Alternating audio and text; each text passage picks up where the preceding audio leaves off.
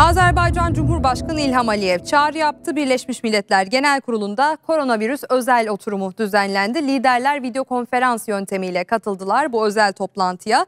Aliyev video mesajında tüm ülkelerin aşıya ulaşmasının önemine dikkat çekti.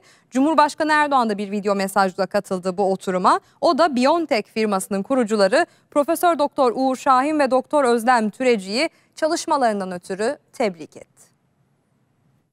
Birleşmiş Milletler üyesi ülkeler Azerbaycan Cumhurbaşkanı İlham Aliyev'in çağrısıyla koronavirüs salgını özel oturumunda buluştu. Oturumun açılış konuşmasını 75. Genel Kurul Başkanı Büyükelçi Volkan Bozkır yaptı. Bozkır hiçbir ülkenin salgınla tek başına mücadele edemeyeceğini vurguladı. Virüsle mücadele için çok uluslu sistem içinde çalışma çağrısı yaptı. Genel Sekreter Antonio Guterres de konuşmacılar arasındaydı. Azerbaycan Cumhurbaşkanı ve Bağımsız Devletler Topluluğu dönem başkanı İlham Aliyev video mesaj yoluyla genel kurula hitap etti. Koronavirüs aşısının tüm ülkelere adil ve eşit olarak dağıtımının önemine dikkat çekti.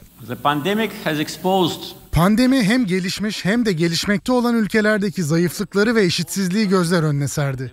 Bu ülkelerde yoksulluk arttı ve en savunmasız olanların durumunu daha da ağırlaştırdı. Pandemi yoksul ülkelere daha ağır darbe vurdu. Bağımsız devletler topluluğu ülkeleri krizin etkilerinin güçlükle kazanılan gelişimleri tersine çevirmesinden derin endişe duymaktadır. Aliyev geliştirilecek aşının tüm ülkelere ulaştırılmasının da önemine dikkat çekti.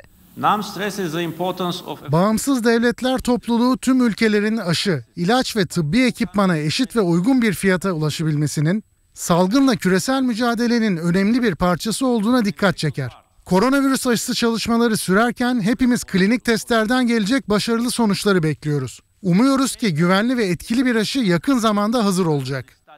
Azerbaycan Cumhurbaşkanı geliştirilecek aşının küresel kamu malı olarak kabul edilmesi gerektiğini vurguladı. Cumhurbaşkanı Erdoğan da Birleşmiş Milletler Genel Kurulu'nun koronavirüs özel oturumuna video mesaj gönderdi. Dezavantajlı grupların sorunlarına işaret etti. Tüm dünyada bu süreçten daha fazla etkilenen hassas gruplar vardır. Tedbirlerin kapsayıcı olması hassas ve dezavantajlı grupların ihtiyaçlarına özen gösterilmesi elzemdir.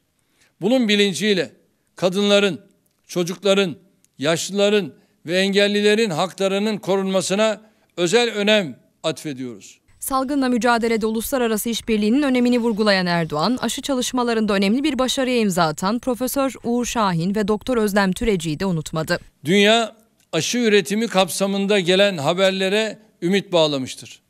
Bu vesileyle aşı çalışmalarında önemli bir başarıya imza atan oturuma da çevrim içi iştirak eden BioNTech firmasının kurucuları Profesör Uğur Şahin'i ve Doktor Özlem Türeci'yi tebrik ediyorum. Türkiye olarak yürüttüğümüz 12'si Dünya Sağlık Örgütü listesinde bulunan 16 aşı çalışmasından birinin insan denemelerine başlamasından da büyük memnuniyet duyuyoruz. Birleşmiş Milletler Genel Kurulu'ndaki salgın özel oturumu iki gün sürecek.